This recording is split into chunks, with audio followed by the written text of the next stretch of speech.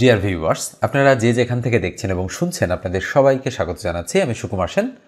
শিক্ষক নিবন্ধনের ধারাবাহিক আয়োজনের আজকের আমাদের বিষয় হচ্ছে ইংরেজি। আজকে আমরা ইংরেজির একশোটি অতি গুরুত্বপূর্ণ প্রশ্ন নিয়ে আপনাদের সঙ্গে আলোচনা করব। তো অবশ্যই প্রথম থেকে শেষ অবধি আপনারা মনোযোগ সহকারে ভিডিওটা দেখবেন। আর অবশ্যই সাবস্ক্রাইব না করে থাকলে সাবস্ক্রাইব করবেন। আর ভিডিওটাতে একটা লাইক দিতে ভুলবেন না। আর ফেসবুক পেজ থেকে যদি দেখে থাকেন এই মুহূর্তে, তাহলে পেজটা ফলো দিয়ে রাখেন। তো শুরুতেই এক নম্বরে যে প্রশ্নটা আপনারা দেখতে পাচ্ছেন what is the synonym of jovial jovial এর বাংলা হচ্ছে আনন্দময়। এর সিনোনিম হচ্ছে জলি মনে রাখতে হবে জোভিয়াল এর সিনোনিম হচ্ছে জলি তো প্রশ্নগুলোতে যাওয়ার পূর্বে আমি আপনাদের একটু এনশিওর করতে যাই, চাই যে কলেজ পর্যায়ে স্কুল পর্যায়ে এবং স্কুল টু পর্যায়ের সিলেবাসে কী কী রয়েছে। আপনারা অনেক সময় লিটারেচার পড়ে ইংরেজির ভুল করে থাকেন বা বিগত বছরের বিসিএসের প্রশ্নগুলো পড়ার সময় লিটারেচার সহ আপনারা পড়েন কিংবা অন্যান্য হচ্ছে প্রশ্নগুলো আপনাদের পড়া আছে, আপনারা রিভিশন দেওয়ার সময় সাহিত্য অংশ পড়েন, ইংরেজির বাংলা সাহিত্য অংশ পড়েন, কিন্তু এগুলো আসলে আপনাদের ভুল। নিবন্ধনে সাহিত্য অংশ থেকে রেয়ার প্রশ্ন আসে মানে আসে না বললেই চলে, ঠিক আছে? তো আমরা সিলেবাসটা একটু দেখে আসি শুরুতেই। স্ক্রিনে দেখতে পাচ্ছেন কলেজ নিবন্ধনের সিলেবাস ইংরেজি টোয়েন্টি ফাইভ মার্কস রয়েছে এবং এখানে এগারো বারোটা টপিক রয়েছে।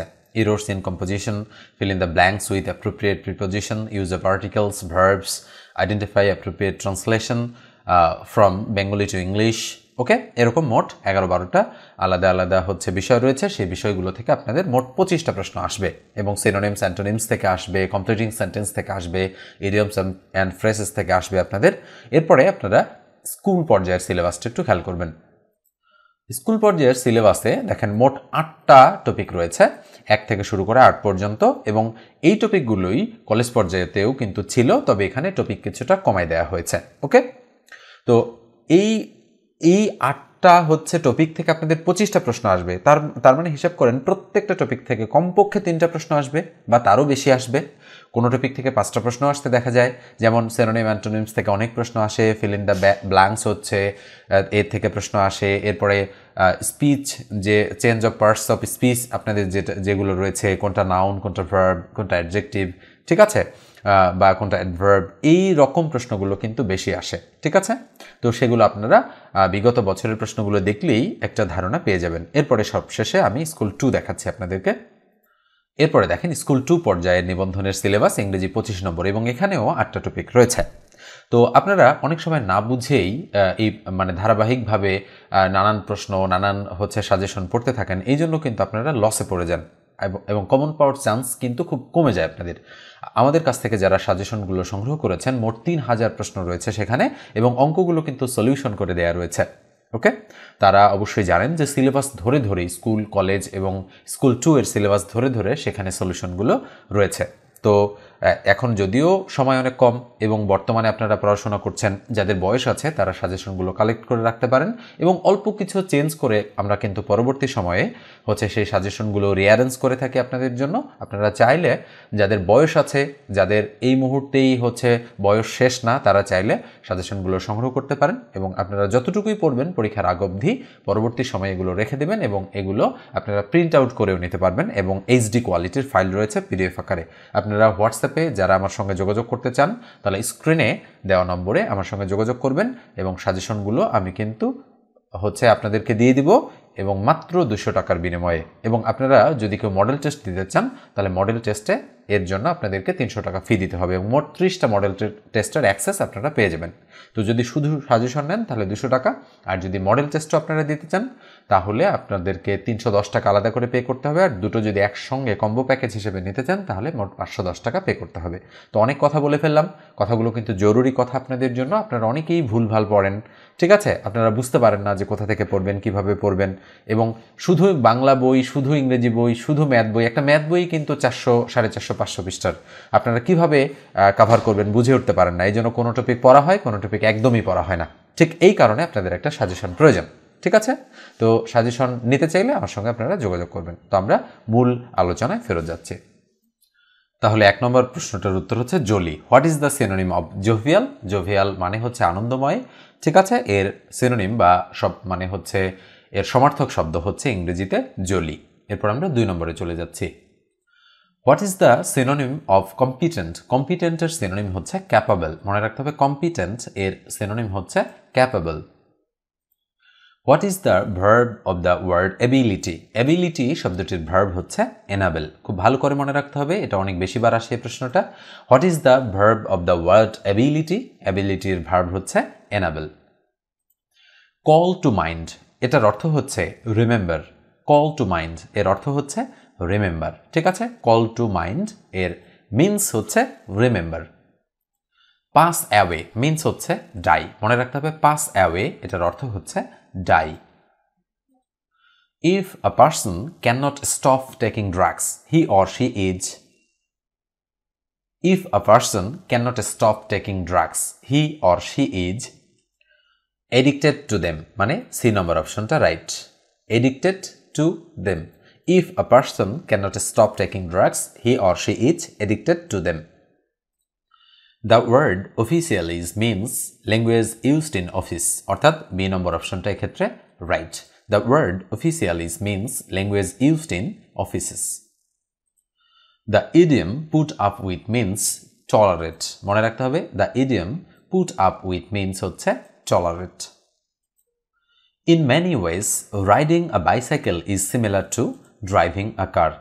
In many ways, riding a bicycle is similar to driving car. I have been living in Dhaka dash 2000. আমরা অনেকেই জানি এই প্রশ্নটার উত্তর উত্তর হবে since I have been living in Dhaka since two thousand give the antonym of the word transitory tran transitory transitory transitory এর antonym আমাদেরকে খুঁজে বের করতে হবে। ট্রানজিটরি এর অ্যান্টোনিম বা বিপরীতার্থক শব্দ হচ্ছে পারমানেন্ট মনে রাখতে হবে ট্রানজিটরি এর অ্যান্টোনিম হচ্ছে permanent verb of the number is এই প্রশ্নটা একদম কনফিউশন একটা প্রশ্ন। ভার্ব হচ্ছে নাম্বারের ভার্ব হচ্ছে নাম্বার এবং নাউনও হচ্ছে নাম্বার তো এক্ষেত্রে আমরা নাম্বারের ভার্ব নাম্বারও দাগাতে পারি, তবে আমরা হচ্ছে অক্সফোর্ড ডিকশনারি সার্চ করে দেখেছি, সেখানে নাম্বার দেওয়া, কিন্তু আবার অধিকাংশ যে চাকরির পরীক্ষাগুলো, পরীক্ষাগুলোর বই রয়েছে, সেখানে কিন্তু এনিউমারেট দেওয়া, ওকে? তবে এই প্রশ্নের উত্তরটা দুটোই রাইট তবে আমার মনে হয়েছে যে এনিউমারেট এটা হচ্ছে বেশি right verb of the number is enumerate তবে আমি আবারও বলে রাখি, কেউ যদি নাম্বার দাগিয়ে দেয়, তাহলে সেটা কিন্তু কাটতে পারবে না কেউ, ঠিক আছে? এই ধরনের কনফিউশন প্রশ্ন কিন্তু থেকেই যায়। Women are too often dash by family commitments women are too often dash by family commitment commitments উত্তর হবে কনস্ট্রেইন্ড উত্তর হচ্ছে constrained women are too often constrained by family commitments which sentence is correct a drawing man catches at a straw A নম্বর অপশনটা right ঠিক আছে?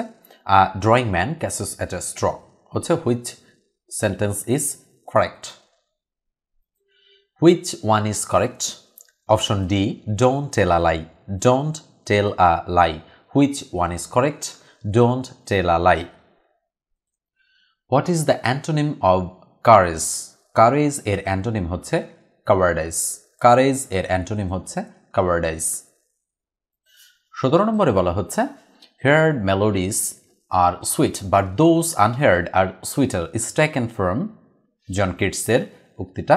এরকম প্রশ্ন দু একবার এসেছে, তাই আমি কিন্তু রেখেছি। Heard melodies are sweet but those unheard are sweeter is taken from John Keats এটা হচ্ছে জন কিটসের থেকে নেওয়া হয়েছে। এইটিনে বলা হচ্ছে the passive form of the sentence we made her recite a poem সঠিক উত্তর হচ্ছে she was made to recite a poem তার মানে এইটিন এর অ্যান্সার হচ্ছে বি কি বলা হচ্ছে? She was made to recite a poem she was made to recite recite a poem which one is correct nineteen নাম্বারে বলা হচ্ছে which one is correct A নম্বরটা right it is quarter to eleven it is quarter to eleven এটা হচ্ছে correct বিশ নম্বর বলা হচ্ছে English dash across the world বিশে বলা হচ্ছে English dash across the world উত্তর হচ্ছে is spoken English is spoken across the world একুশ নম্বরে বলা হচ্ছে my wife remains may dash সঠিক উত্তর হচ্ছে of my appointment my wife remains may dash সঠিক উত্তর হচ্ছে অব মাই অ্যাপয়েন্টমেন্ট বাইশ দেখেন, বলা হচ্ছে সততা সর্বোৎকৃষ্ট পন্থা কোনটির অনুবাদ? নিচে চারটা সেন্টেন্স রয়েছে। সঠিক উত্তর হচ্ছে honesty is the best policy D নম্বরটা রাইট বলা হচ্ছে সততা সর্বোৎকৃষ্ট পন্থা। এর সঠিক অনুবাদ হচ্ছে honesty is the best policy তেইশ নম্বরে বলা হচ্ছে if I had much money I dash I would help the distressed people if I had much money I would help the distressed people চব্বিশ নম্বরটা দেখেন, বলা হচ্ছে কি one of the crucial dash traffic jam one of the crucial problem is traffic jam অর্থাৎ A নম্বর অপশনটা এক্ষেত্রে রাইট পঁচিশ নম্বরে বলা হচ্ছে, মেধার বলে একজন শিক্ষার্থী জীবনে সফল হয়। The English translation of this sentence a student succeeds in life by dint of merit a student succeeds in life by dint of merit ছাব্বিশ নম্বরে বলা হচ্ছে I look forward to dash সঠিক উত্তর হচ্ছে hearing from you soon I look forward to hearing from you soon সাতাশ নম্বরে বলা হচ্ছে স্কেয়ার সিটি শব্দের সঠিক অর্থ কোনটি? মনে রাখতে হবে স্কেয়ার সিটি শব্দটির সঠিক অর্থ হচ্ছে স্বল্পতা। স্কেয়ার সিটি শব্দটির সঠিক অর্থ হচ্ছে স্বল্পতা। আঠাশ নম্বরে বলা হচ্ছে ট্রান্সপারেন্ট শব্দের সঠিক অর্থ কোনটি? সঠিক উত্তর হচ্ছে, স্বচ্ছ। ট্রান্সপারেন্ট মানে হচ্ছে স্বচ্ছ। উনত্রিশ নম্বরে বলা হচ্ছে the man died dash over died from overeating the man died from overeating ত্রিশে বলা হচ্ছে which word is both a noun and verb অর্থাৎ নিচের কোন ওয়ার্ড একসাথে নাউন এবং ভার্ব দুটি? সঠিক উত্তর হচ্ছে বার্স সঠিক উত্তর হচ্ছে বার্স কোনটি শুদ্ধ বানান? হেটারোজেনিয়াস বানান বি নম্বরটা right H E T E R O G E N E O U S heterogeneous হচ্ছে এখানকার মধ্যে শুদ্ধ বানান।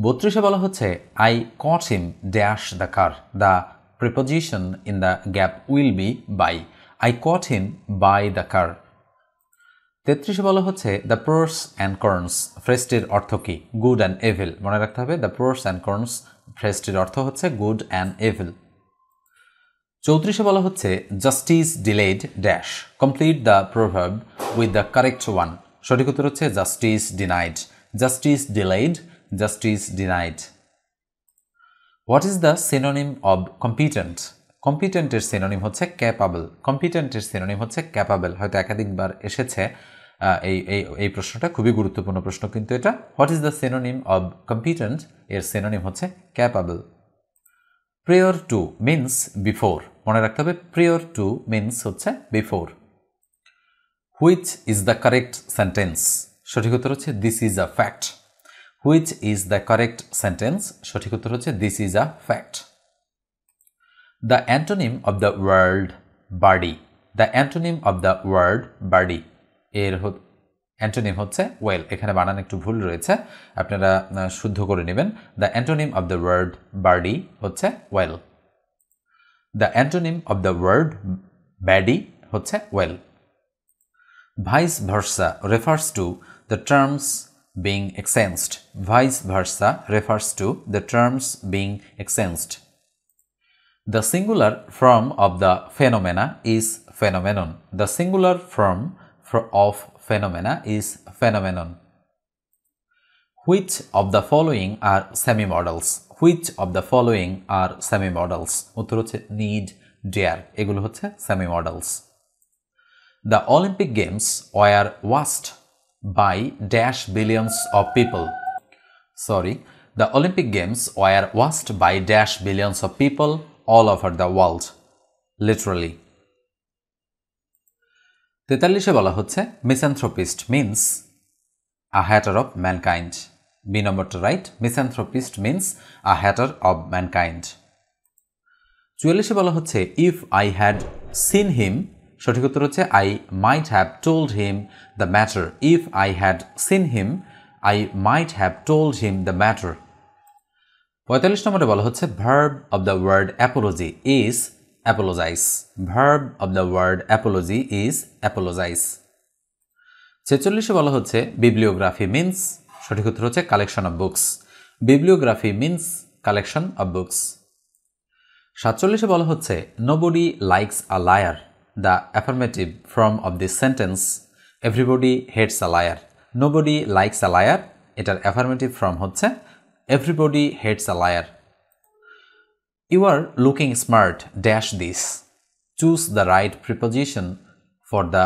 blanks সঠিক উত্তর হচ্ছে in you are looking smart in this